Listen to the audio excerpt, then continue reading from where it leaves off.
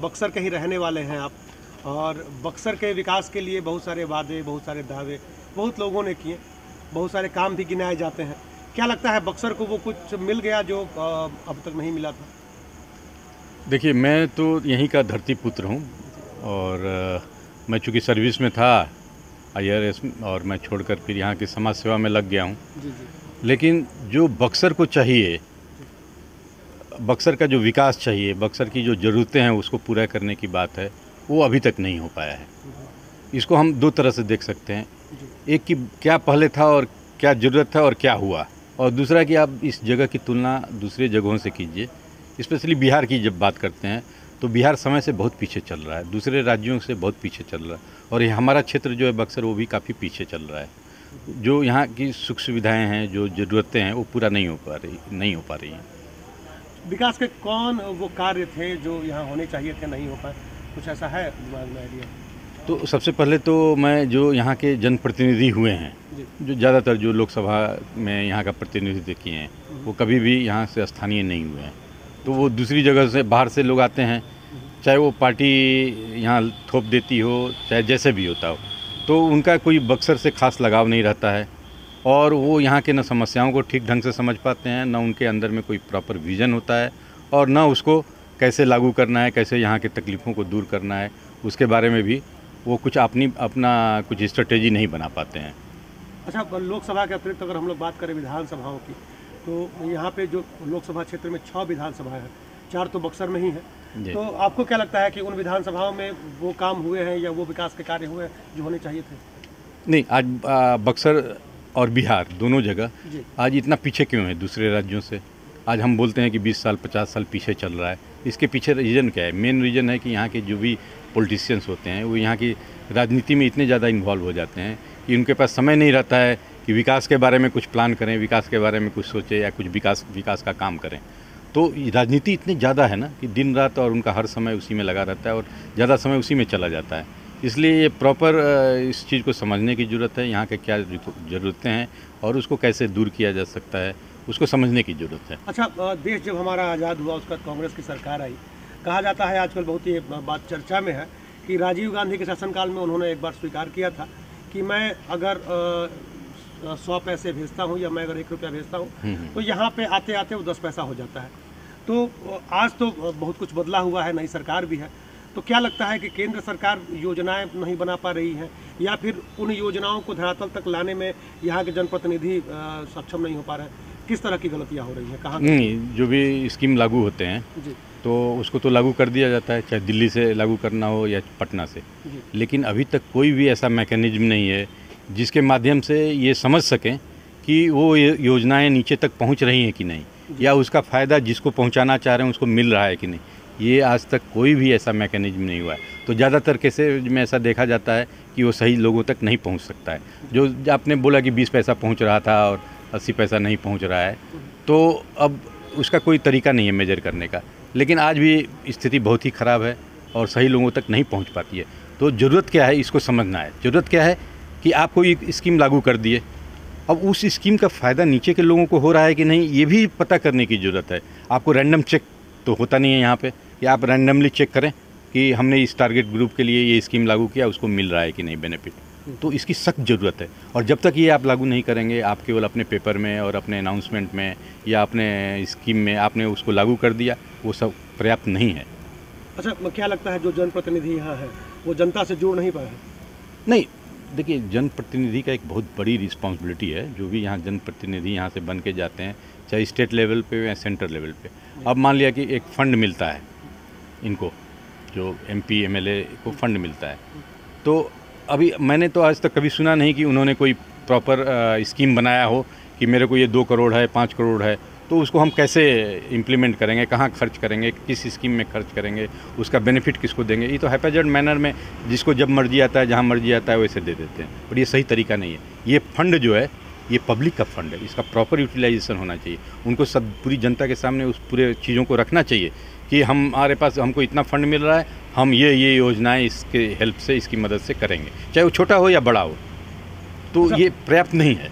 अच्छा अगर हम बात करें चूँकि प्रदेश में हमारे यहाँ अभी वर्तमान जो सरकार है महागठबंधन की सरकार है हम देश की राजधानी दिल्ली की बात करें तो वहाँ आम आदमी पार्टी की सरकार है। और अन्य राज्यों की बात करें तो वहाँ भाजपा की भी या एनडीए की भी सरकार है। तो आपको क्या लगता है कि जो सरकारें हैं इनमें से कौन सी सरकार ऐसी है जो जनता को ज़्यादा समझ पाती है? या क्या लगता है कि मतलब कौन कौन कहाँ किस तरह की गलतियाँ कर रहा है जो नहीं करनी चाहिए? इस तरह का कुछ है? देखिए मैं तो यही चीज़ों को आप जब तक क्रिटिकली नहीं देखेंगे।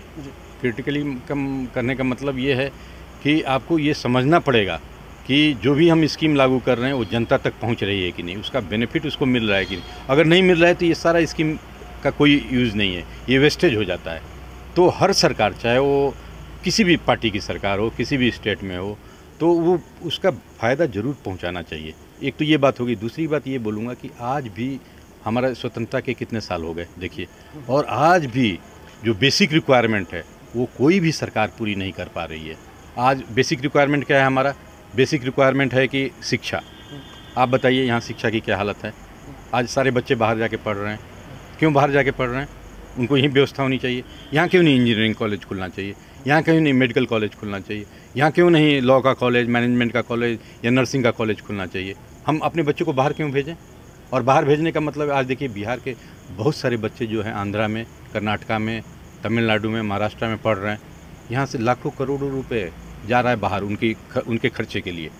अगर आज यहाँ सब सुविधाएँ रहती बिहार में तो वो सारे पैसे यहीं खर्च होते, यहीं ग्रोथ होता। तो अब आप पूछ रहे थे मेरे को बिहार में क्या प्रॉब्लम है? तो ये एक बहुत बड़ा प्रॉब्लम है। अच्छा दूसरी बात मैं जैसे कि चिकित्सा के बारे में। आज हम इलाज करने के लिए आप महसूस कर रहे होंगे देख रहे होंगे दिन रात आज हम इलाज करने के लिए यहाँ से पटना जाना पड़ता है। बेसिक रिक्वायरमेंट जो है बेसिक इलाज के लिए। अगर तो पटना जाएँ बनारस जाएँ दिल्ली जाएँ अगर कोई बड़ी बीमारी हो गई तो दिल्ली जाएँ या वेलोर जाएँ। क्यों हम जाएँ? हमारे यहाँ ये सुविधा क्यों नहीं है? ये किसका दायित्व है? इसका ये दो लोगों का दायित्व बनता है। एक तो जो राज्य सरकार है उसका दायित्व तो बनता है और जनप्रतिनिधियों को इन चीज़ों को हाईलाइट करना चाहिए। लेकिन मैं कब इन चीज़ों को नहीं देख पा रहा हूँ। इसलिए मेरे अंदर दर्द है कि ये जनप्रतिनिधि को और एग्रेसिव रूप से सामने आना चाहिए। प्लस सरकार को की ज़िम्मेदारी बनती है। ये दो चीज़ हो गया। तीसरा ये कृषि प्रधान देश है। कृषि प्रधान क्षेत्र है। तो किसानों का जो किसानों की जो ज़रूरत है उसको ये लोग क्यों नहीं चैनलाइज कर पा रहे हैं? आप जैसे कि मान लिया कि हमको पानी की ज़रूरत है। यहाँ कितनी अच्छी इरीगेशन सिस्टम है यहाँ पे शाहबाद ज़िले में लेकिन पानी नहीं रहता समय पे जब ज़रूरत है तो उसको कौन उसकी व्यवस्था कौन करेगा? जैसे बीज की व्यवस्था है खाद की ज़रूरत है। चलिए ये तो हो गया कि खेती के लिए। न हम जब अपनी हम हमारी फ़सल तैयार होती है तो उसको हम प्रॉपर ढंग से बेच नहीं पाते। हमको प्राप्त हमको सही दाम नहीं मिल पाता है। हमको बिजनेसमैन के हाथ में ज़बरदस्ती देना पड़ता है मजबूरी में कम पैसे में। तो अभी तक ये व्यवस्था नहीं है। ये लोग अनाउंस कर दिए हैं, सब कुछ बना दिए हैं, लेकिन वो लागू नहीं हो पाता है तो उसको लागू करने की ज़रूरत है। ये समझने की ज़रूरत है कि उनको कैसे उस बेनिफिट को पहुँचाया जाए। तो जो पब्लिक है, आम पब्लिक है, जो जिसको नहीं बेनिफिट मिल रहा है जिसको नहीं उस चीज़ का फ़ायदा मिल रहा है, वो हमेशा ही असंतुष्ट रहेगा। तो फिर आप उससे उम्मीद नहीं कर सकते कि वो आपका समर्थन करेगा। ऐसे और बहुत सारी चीज़ें हैं, ये हेल्थ हुआ एजुकेशन हुआ, ऐसे आप किसी भी फ़ील्ड की बात करें, आप रोड की बात कर लीजिए। तो अभी जैसे एक बहुत बड़ा काम हुआ अच्छा काम हुआ है कि एक रोड पटना से बक्सर तक हाईवे बन गया है। लेकिन जैसे हाईवे छोड़ जा छोड़ते हैं फिर वही प्रॉब्लम आ जाता है। आ, आपकी रिस्पॉन्सिबिलिटी को रोड बना देने से नहीं है। आज आप देखिए बक्सर में हर दिन प्रतिदिन दो चार पाँच एक्सीडेंट बक्सर के आसपास के एरिया में हो हो जाता है। अब इसके पीछे क्या कारण है? इसके पीछे आपको सरकार की ज़िम्मेदारी बनती है ना कि कारण पता लगाएँ कि रोज़ इतने एक्सीडेंट क्यों हो रहे हैं? इतने कुछ लोगों की जानें चली जाती हैं बेवजह। क्या है कि ना उनको प्रॉपर ड्राइविंग करने आ रहा है ना आप प्रॉपर रोड बना रहे हैं कहीं गड्ढे अचानक आ जाते हैं तो इन सबको सुधारने की ज़रूरत है। हर क्षेत्र में कुछ ना कुछ ज़रूरत है जो कि समझना पड़ेगा और उसका समाधान ढूंढना पड़ेगा। तो आपको लगता है कि लोकल क्षेत्र में जैसे जन जनप्रतिनिधि है सांसद है विधायक है अगर ये अपने क्षेत्र को समझने लगे हर जनप्रतिनिधि समझने लगे तो मतलब देश में इस तरह की कोई समस्याएँ नहीं रहेंगी? नहीं बिल्कुल। बहुत कुछ चेंज आ जाएगा ना। और हमारे यहाँ ज़्यादा ज़रूरत है। अगर सही बोलिए तो हमारे यहाँ उसकी ज़रूरत ज़्यादा है बिहार में। हम समय से बहुत पीछे चल रहे हैं, चाहे एजुकेशन के मामले में। आप आप बोलेंगे कैसे समय से पीछे चल रहे हैं? तो क्यों बच्चे जा रहे हैं कर्नाटका या तमिलनाडु या आंध्रा? क्योंकि आपके यहाँ यहाँ फैसिलिटी नहीं है। हमारे किसान, गरीब किसान कमा रहा है पैसा, मेहनत से। और वो सारे पैसे बच्चों के एजुकेशन में, उसको इंजीनियरिंग कराने में मेडिकल कराने में वो तमिलनाडु भेज देता है, बेंगलोर भेज देता है।